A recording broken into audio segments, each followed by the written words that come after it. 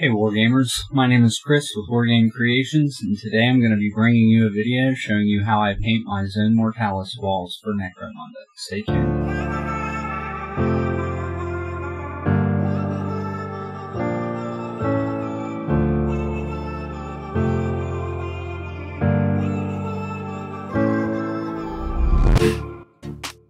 First thing I'm going to do is grab my destroyed columns. I'm going to take some super glue and some snips. I'm going to throw some super glue in these holes here, and I'm going to use some 3D printer filament to fill those in for rebar. So I just put a little dab of super glue over top of all the holes. I get an extra long piece, and then I just cut it as I go, leaving a little bit extra so that we can bend it and take more off as we need.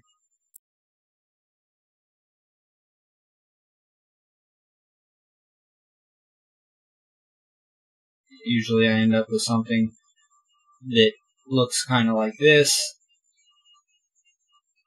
Next thing I do, I'll go through with a lighter, kind of heat them up, and bend them down to make it look like, you know, the force of gravity brought down the rebar with the concrete when it blew up. So, kind of play with those, bend them into place. They want to kind of go back into their shape, so I'll light them with a lighter, bend them, and then kind of blow on them a little bit to cool them down.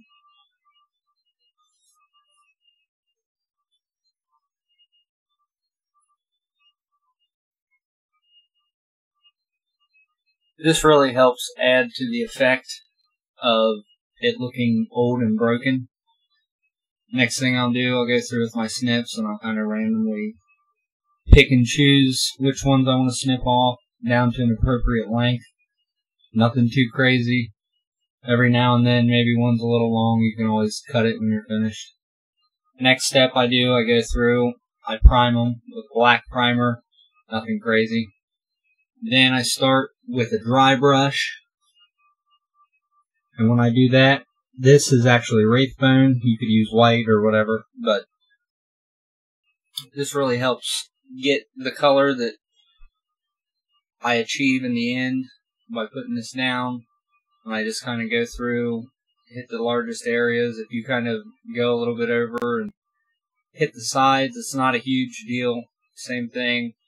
You know, just working my way around, making sure I stay, you know, 70%, 80% away from the corners. Next, what I'll do, I'll move on to the blue. I'll dry brush the blue. When I'm doing this, I'm going kind of against the direction of the edges so that that way the paint's really sticking on the edges more than it is on the flat surfaces. And it gives the appearance that, you know, this is like an old blue metal versus, you know, just black with blue on the edges of it.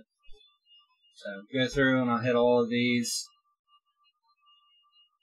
Make them all look the same. You could leave it this color without washing it, but when we apply the washes, it ends up bringing the color down a little bit. I move on. I sponge the yellow on here. I use this for my caution stripes. As you can see, I tried to make the caution stripes unidirectional to where I can flip it, and it always looks like it kind of makes sense. Um, what I'm doing here, I'm showing basically I'll put one piece of tape down, whichever you know thickness I'm using for my stripes, and then I'll put one piece of tape directly next to it as my spacer, and then come back with a third piece of tape, and I'll actually tape that down and remove the middle piece. That way, makes nice, easy, quick, clean lines. I'll come through with the black. I'll sponge the black on, same kind of way I did the yellow.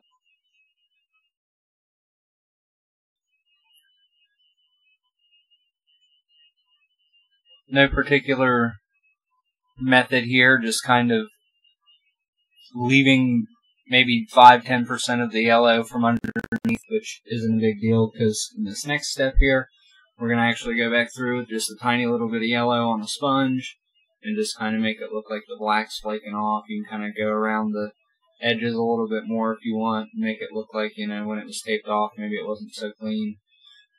Uh, But yeah, I'll just go over the top of the black with the yellow, and then that way it looks like the paint is peeling off of the yellow itself, and then what we'll do in the next step, we'll go through and we'll make it look like the actual, all of the paint is peeling off the wall around the pillars. So when I do this, I'm mostly focusing around like the edges or anywhere where like there are joints in the concrete.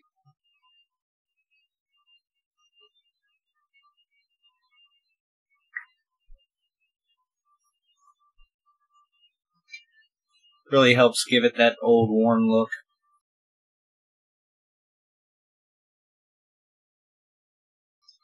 Next thing I'll do, I'll go through, I'll paint all the details in, I'll work with the copper, I'll paint the rebar black. That way it's a little bit easier to work with in the next steps. Then I'll go through, I'll apply my wash to everything.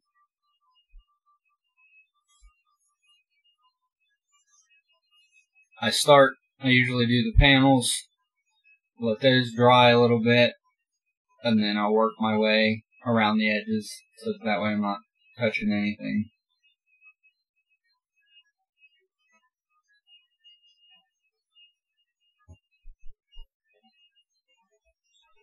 When I'm finished with that, what I'll do is I'll go through with the dry brush of the Wraithbone again, and I'll just hit all of the edges of what I just washed to give it a little bit more pop around the edges, kind of like edge highlight. Next, what I'm going to do is I'm going to apply some typhus corrosion. Basically, I'm just putting that mostly around the bottom, a few specks at the top.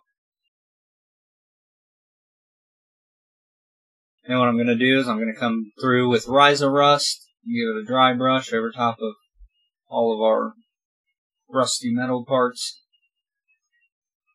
Do the rebar and then same thing, making sure that I'm pulling the paint against those panels so, you know, going the opposite direction of the lines that I'm trying to hit.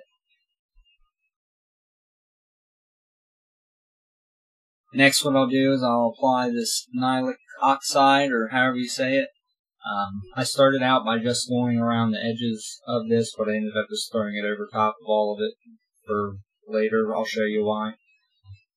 So, I also added some to the streaks underneath of the rebar to make it look like it was running. I also took some orange paint, watered it down pretty good. I believe this is the Vallejo clear orange. And I went ahead and I painted little tiny streaks underneath of the rebar just to give it a more rusty running look. And I used some AK Rust Streaks effects. Painted those on. Let those kind of sit for a little bit. And then came back through with like an enamel thinner. Put some of that on a brush. And then just kind of washed down the AK Rust effects that I had just put on. It really gave it like a old, runny, rusty look to it.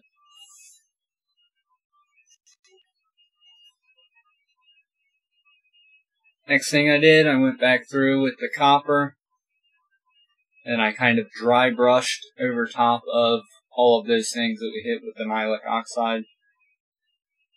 And then that way, kind of still looks like it's on and worn, but it's also down in the crevices, and I didn't have to be super careful when I was doing it, so really helped improve on speed. Thank you guys for watching so much. I hope you enjoyed. If you like this video, please give it a thumbs up. Make sure to subscribe and hit the notification bell. Also, leave in the comments what kind of content you would like to see in the future.